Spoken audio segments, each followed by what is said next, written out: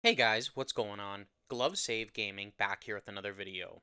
In today's video, we're going to be taking a look at my created goalies in NHL 24. This is going to be on my newest roster update that's probably coming out in about a week or so from now. I think I'm on to Glove Save Gaming V6. If I'm not right about that, it's going to be whatever the newest update is in July. I deleted a couple goaltenders recently because I think they didn't really have a big effect in franchise mode. Some of them were prospect of teams. Some of them were even draft eligible prospects as well. So you'll see guys in here that are already drafted into the NHL, could be drafted in 2024, maybe even draft eligible. And there's some guys that are even in the AHL that weren't in the original roster update earlier in the season when I started to do my roster updates, and I just haven't merged the roster since. So you'll see some AHL guys on this as well. So Adam Gajan, we're going to begin with here. He's drafted by the Chicago Blackhawks, played in the USHL last season. Alexei Kolosov, drafted by the Philadelphia Flyers. He came over from the KHL last season to Lehigh Valley. Carl Axelsson, believe he's eligible in 2025 draft. Carsen Musser, recently drafted in 2023 by the Arizona Coyotes. Cameron Whitehead, he's a goalie prospect for the Vegas Golden Knights playing in the NCAA right now. Drew Commesso, drafted by the Chicago Blackhawks. I think he was a second rounder a couple years ago. Currently playing for Rockford in the AHL. Erik Portillo, currently playing for the Ontario Reign. He was drafted by the Buffalo Sabres, though traded last summer, I believe, over to the LA organization. Georgi Romanov played in the KHL, currently a part of the Sharks organization. Hampton Slukynsky, drafted by the LA Kings in 2023, played in the USHL last season.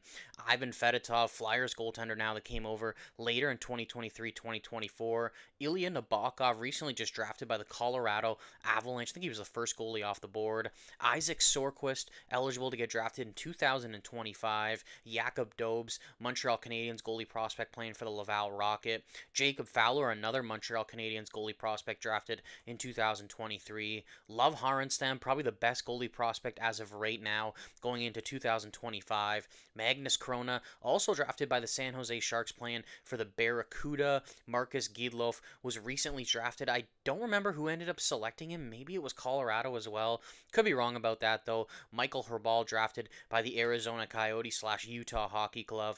Mikhail Yegorov, believe he was the second goalie off the board this year, drafted to the New Jersey Devils. Nicholas Kempf was drafted to the Washington Capitals this past draft Nikita Tolopilo. He's on the Abbotsford Canucks. I think the Canucks signed him last year to an entry level contract. Pyotr Andreyanov, eligible to go in the 2025 draft. Same thing with Patrick Herkola here, plays in Liga. Pavel Moysevich recently drafted in the NHL this past season. All right, I don't know how to say this guy's name properly. Ruslan Kazayev, drafted by the Carolina Hurricanes, recently signed with them as well. Sergei Ivanov, he's drafted by the Columbus Blue Jackets, plays in the KHL. Trey August Goaltender prospect for the Detroit Red Wings, playing in NCAA.